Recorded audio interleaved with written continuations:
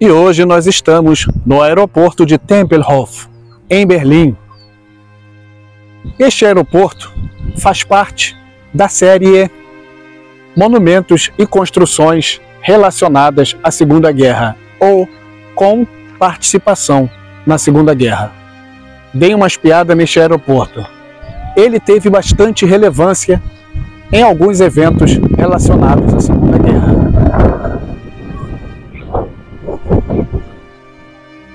Não vamos antecipar o que vem por aí, mas espero que você já deixe o seu like, que você comente e que você continue em nosso canal assistindo a esse vídeo.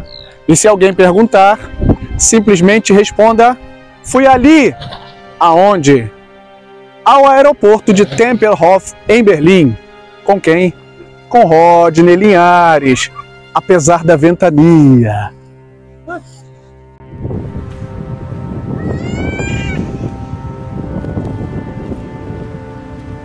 Este é o aeroporto de Berlim, Tempelhof. Este aeroporto foi um dos três grandes aeroportos de Berlim, juntamente com o aeroporto Tegel e o aeroporto Schönefeld. Ele foi construído durante o regime nazista e serviu de oficina de manutenção de aeronaves e de abrigo durante a Segunda Guerra Mundial. Sua operação foi encerrada em 30 de outubro de 2008. Atualmente, sua área foi transformada em um parque, sendo ele o maior parque público de Berlim, o Tempelhofer Feld.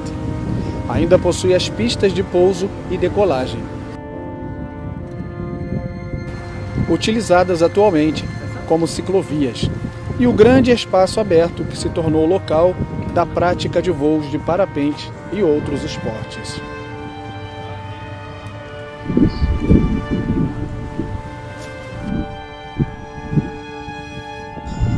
Durante a Segunda Guerra Mundial, temendo bombardeio aliado dos aeroportos, toda a aviação civil alemã foi interrompida em 2 de setembro de 39, mas reiniciada gradualmente a partir de 1 de novembro.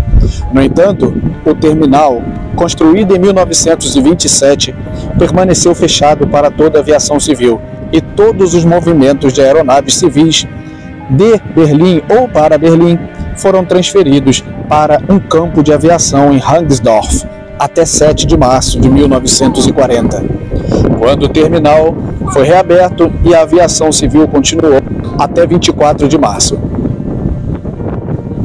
De janeiro de 1940 até o início de 1944, foram montados bombardeiros de mergulho a partir de então e foram montados aviões de combates no salão principal, ainda sem mobília, e nos hangares 3 a 7 do novo terminal, que eram abastecidos por ferrovia e caminhões por meio de um túnel de conexão.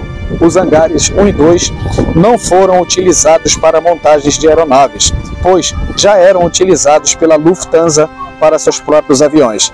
Peças de aeronaves foram trazidas de toda a cidade, enquanto motores completos de aeronaves foram transportados para Tempelhof. Assim, que as fuselagens foram concluídas e os motores instalados, a aeronave finalizada foi lançada.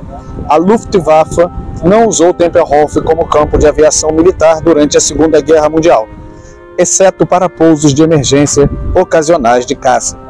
Em 21 de abril de 1945, a Deutsche Lufthansa operou seus últimos voos regulares e nos dias seguintes realizou voos não regulares adicionais do campo aéreo de Johannisthal, que fez escala em Tempelhof para receber carga a caminho de Travemünde e Munique, onde a Lufthansa havia mudado a sua sede.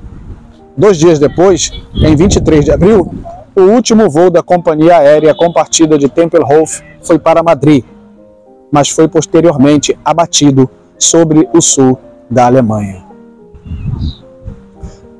Em 8 de maio de 45, os aliados ocidentais e os signatários alemães da rendição alemã em Berlim e sua comitiva desembarcaram no aeroporto de Tempelhof. No início de maio, Wesser Flugzeugbau abriu uma oficina no hangar 7 para consertar bondes. Nas semanas seguintes, os berlinenses invadiram todas as partes desprotegidas dos edifícios abertos em busca de comida ou qualquer outra coisa útil para negociar no mercado negro.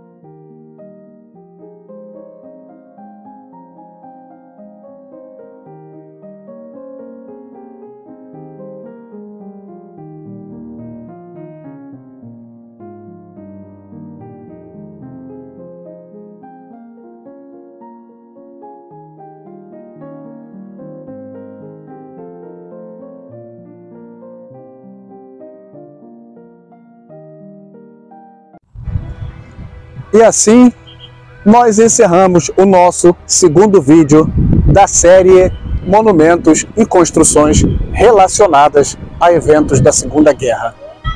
Desta vez tivemos a oportunidade de conhecer o aeroporto de Tempelhof, em Berlim. Espero que você tenha gostado da história, que vocês tenham gostado destas curiosidades que marcam a existência desse aeroporto. Então, não esqueçam de deixar o like, compartilhar o link, comentar, enfim, participar e ajudar o nosso canal a ter grande reconhecimento. Se alguém perguntar, simplesmente responda: fui ali ao aeroporto de Tempelhof. Com quem? Com Rodney Liares.